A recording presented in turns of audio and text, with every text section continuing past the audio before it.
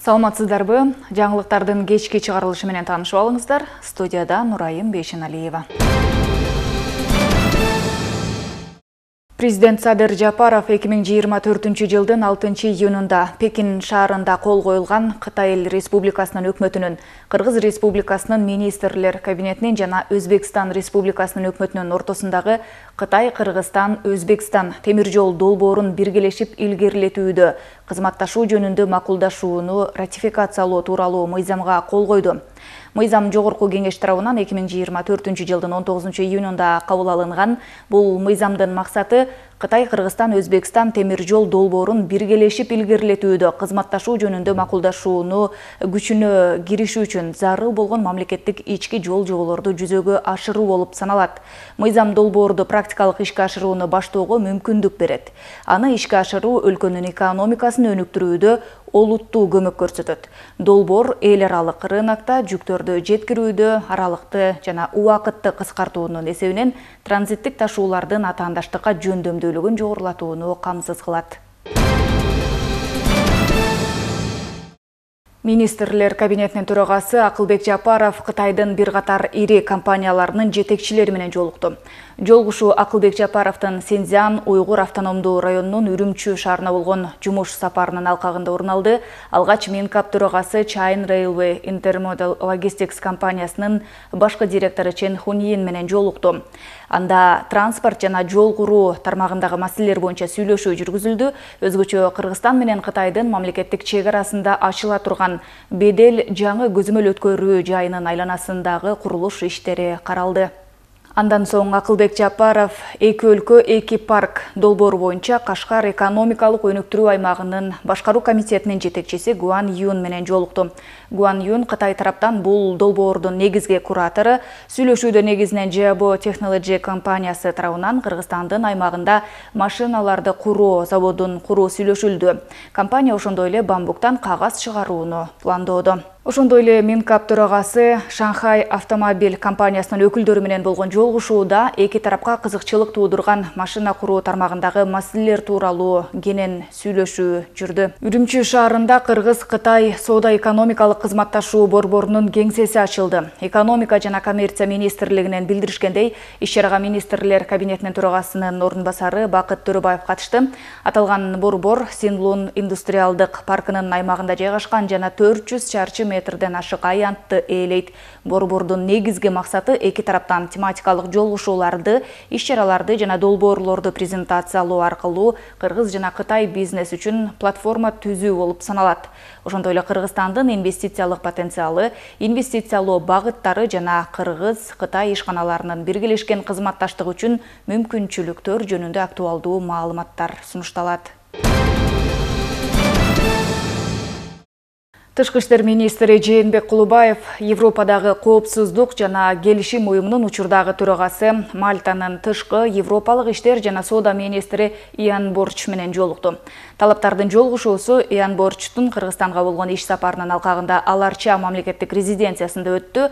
Расмий учурашуу жана сүрөткө түшүүдөн кийин жетекчилер тар форматтагы сүйлөшүүлөрдү жүргүзүү үчүн жыйындар залына өтүштү.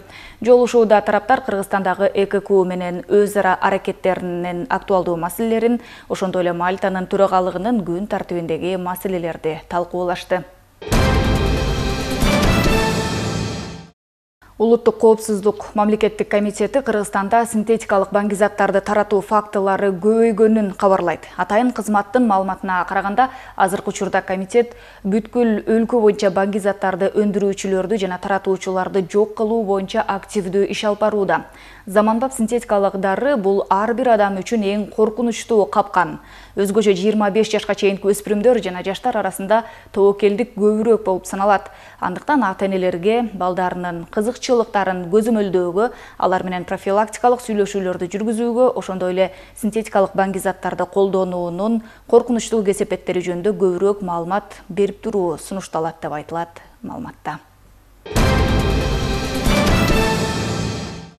бириккен улуттар уюмунун дүйнөлүк азык түлүк программасы жумушка орношуу жана киреше алуу мүмкүнчүлүгүн кеңейтүү аркылуу аялуу калктын азык түлүк коопсуздугун жана тамактануусун жакшыртууга багытталган долбоорлорду ишке ашырууда. Үй чарбалары коомдук инфраструктураны калыбына келтирүү долбоорлоруна катышкандыгы үчүн азык түлүк же акчалай жардам алышат. Жумушка орношууга жана киреше табууга көмөктөшкөн кесиптик көндүмдөрдү үйрөтүшөт бириккен улуттар уюмунун дүйнөлүк азык түлүк программасы россиянын элчилиги менен биргеликте калктын аярлуу катмарынын азык түлүк коопсуздугун жана тамактануусун жакшыртууга багытталган долбоорду ишке ашырды мындай долбоорлордун бири жайыл районунун сосновка айылындагы долбоор болгон. Долбоордун катышуучулары айылдагы эки жүз жети кожолукту тейлеген таш ирригациялык каналын калыбына келтиришти. Курулуш иштери аяктагандан кийин долбоордун отуз үч катышуучусунун ар бири үч жүз килограмм буудай уну жана отуз литр өсүмдүк майы түрүндө азык түлүк жардамын алышты. Долбоорго катышкан катышып калган себебиме биз ушу айылда эмедебиз. Э, соц эмедебиз да безработныйдабыз анан ошого айыл өкмөт ушу долбоорду уккандан кийин анан ошого катышып калдык да. Анан канал тазалап э, сууну эмеге арык казканга сууну тазалаганга катышып анан азык түлүк программасы боюнча ушундай бизге ун май берилип атат сама продовольственная программа здесь осуществляет бул долбоор жергиликтүү калк менен түз байланышта жасалып жатат бул жерде калктын жөн гана башка райондорго эмгекке чакыруу эмес ушул жердин каналдарын тазалап ирригацияны жүргүзүп ошону менен катар жардам алып жатышат. На месте людей привлекают к не просто к труду долбоордун алкагында социалдык манас айылында ден соолугунун мүмкүнчүлүгү чектелген тургундарга кийиз жасоо жана иштетүү боюнча жыйырма күндүк тренинг өттү. Долбоордун катышуучулары кийизден сувенирлерди жана үй тиричилик буюмдарын жасоону үйрөнүштү. Алар кийин сатылып кошумча киреше ала алышат. Тренинг аяктагандан кийин ар бир катышуучуга жүз элүү килограмм ун жана он беш литр өсүмдүк майы берилди если мы раньше изготавливали сухое валяние биз илгери кичинекей оюнчуктарды жасап жүргөн болсок азыр чоңураактарын өттүк. Мисалы жаныбарларды илбирстерди жасап жатабыз. Жаңы жылга кичинекей оюнчук жасап жүргөнбүз. Азыр чоңураак себеттерди жасап баштадык бул долбоордун алкагында макулатурадан кайрадан кагаз жасап да үйрөндүк. Также мы э, в рамках этого проекта научились делать свою бумагу small project but the russian federation бул долбоор жергиликтүү организация менен уюштурулду. Алар бул долбоор жөнүндө бизге маалымат беришти жана министрлик менен биргеликте колдоо көрсөтүп жатабыз. Биз мүмкүнчүлүгү чектелгендерге жана аялдарга жардам беребиз. Бул долбоор эки миң сегизинчи жылдан бери уюштурулуп келет жана россия федерациясы менен биргеликте азыркы убакытка чейин жүз миллион доллар өлчөмүндө жардам көрсөтүлгөн. Russia has been provided last fifteen years москва районунун петровка айылында ичүүчү суу түтүктөрүндө аныкталган отуз алты көйгөй ийгиликтүү жоюлду бул кадам жети жүз жыйырма үй бүлө үчүн сууга туруктуу жетүүнү камсыз кылат. Иш процессине айылдын он бир тургуну тартылган. Алар да долбоордун аягында азык түлүк жардамын алышат. Жалпысынан бүгүнкү күнгө карата республика боюнча бир жүз элүү беш э, долбоор ишке ашып атат. Э, төрт миң бир жүз кырк төрт үй бүлө э, аз камсыз болгон үй бүлө камтылды. Мындайча айтып кеткенде он беш миңге жаран э, жыйырма миңден ашык жаран э, бул долбоордо камтылып атат да. Эки миң жыйырма үч эки миң жыйырма жетинчи жылдар аралыгында долбоордун алкагында инфраструктуралык объекттерди түзүү ошондой эле киреше алып келүүчү иш аракеттерди жүргүзүү үчүн зарыл болгон көндүмдөрдү өнүктүрүү боюнча долбоорлор аркылуу азык түлүк тартыштыгына дуушар болгон беш жүз миң үй чарбаларын камтуу пландаштырылууда айдана камалидин кызы самаган тайырбеков утрк чүй.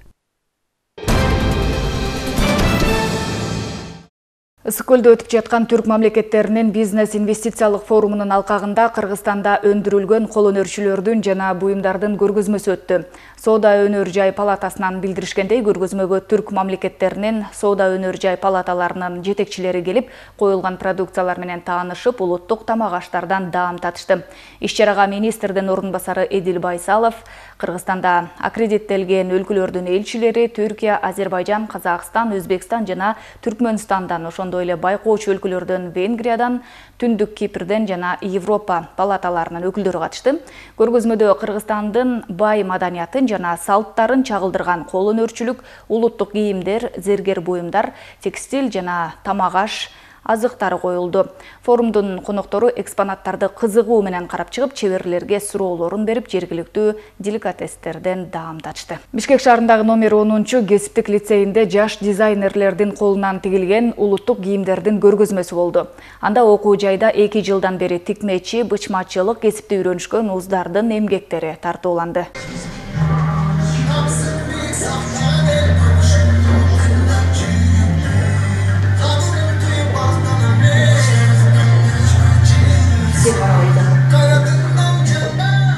Самира керимова эки жыл мурун сүмөнкул чокморов атындагы номер онунчу кесиптик лицейиндеги кол өнөрчүлөр бөлүмүнө тапшырган. Анткени кичинекей кезинен дизайнер болгону каалоочу айтымында моданы кубалаган чебер эмес улуттук кийимдерди даңазалаган дизайнер болгусу келет.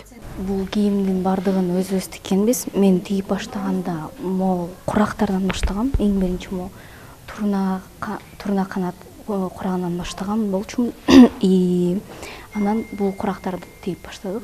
Анан кийин э, белдемчисин тиккенден кийин анан бул курактарды коштук. Анан кийин могу шурууларды өзүбүз колубуз менен жасаганбыз жүн менен самынды аралаштырып ушуларды өзүбүз жасаганбыз. И могу чачтыкты да өзүбүз жасаганбыз жиптен анан бул чачтыктын мааниси биримдикти түшүндүрөт. Ар бир оюнун ылдый жагында чачтык бар бул турна канат оюсу дагы э, дагы мааниси бар. Мунун кыргыз элинде тумарча ыйык болуп келген. Ошол тумарчаны да билгизет бул.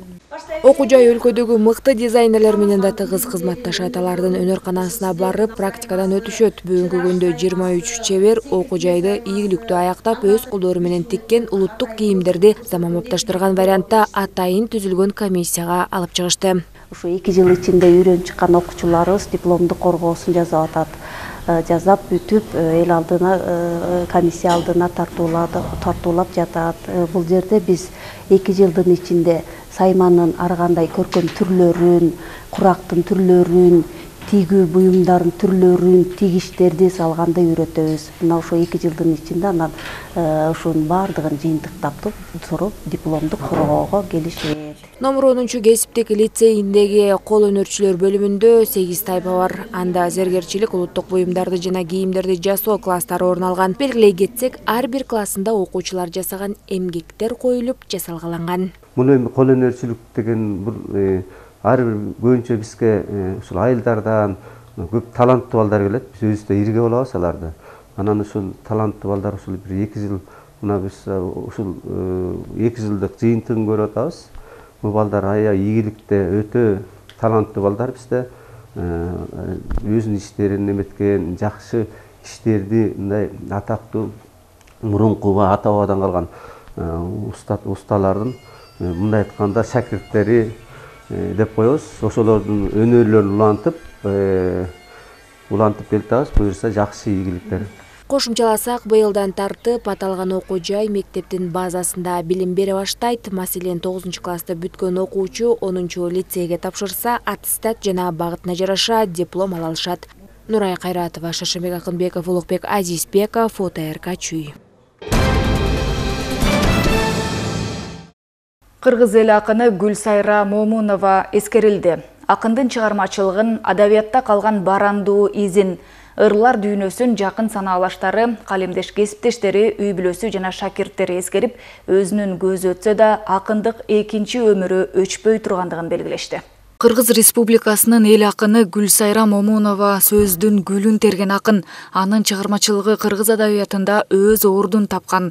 Колунан калемин түшүрбөй өмүрүн ыр дүйнөгө арнаган акындын эмгектери поэзия сүйүүчүлөрүнө баа жеткис белек болуп калды бир жылдын аралыгында бабалардан оңгу башат гүлсайра энелердин оозу башат деген китептери арты артасынан чыккан эң акыркы китеби улуу кыргыз жана келдиңби сүй деген аттар менен китептин авторунун көзү өтүп кеткенден кийин жарыкка чыкты акынды эскерген замандаштары анын талбаган эмгекчилдигин жыйырмадан ашык китеп жазып жашы өтүп улгайып калганда да ыр жазууну таштабаганын өзгөчө белгилешти гүлсайра ушул улгайган кезинде абдан ушунчалык тез тез дээрлик күнүгө бир жазып ушунчалык немеси таланты кучу деле ошонун баары азыр эске түшөт эскерүү иш чарасында гүлсайра момунованын тарыхый поэмалары акындык чеберчилигинин далили экендигин баса белгилешти.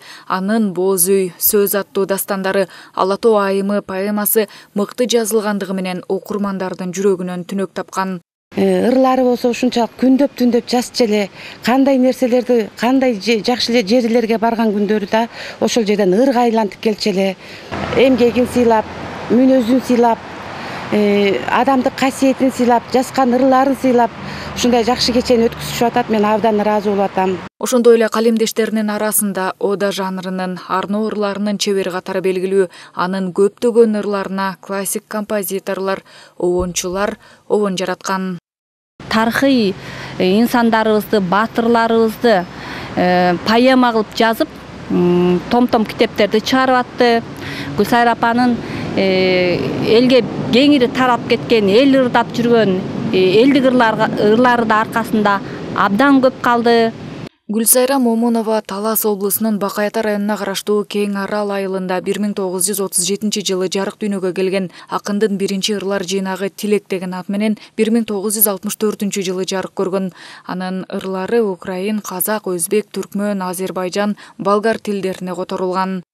Жакшы сөз күн нұрындай көңілдерін ергітіп мұңайғанға күлкі шашып жылмайтып көк жайықтай көңілдерін сергітіп жан жырғатып айтқым келет жақсы сөз күлін ашып жүзі жайнап нұрданып ансыз тағы өмір дөксік көп қалса деймін қалса деймін қабақ жарып қуанып гүлсайра момунова эки миң жыйырманчы жылы сексен үч жашында дүйнөдөн кайткан акындын эмгеги жана жаркын таланты жогору бааланып бир катар беделдүү сыйлыктар ыйгарылган нурайым бейшеналиева шаршенбай акынбеков утрк чүй. Бүгүнкү күнгө алынган жаңылыктар мына ушулар болду. Бул жана башка кабарлар менен биздин социалдык тармактардагы баракчаларыбыздан таанышсаңыздар болот. Кечиңиздер көңүлдүү улансын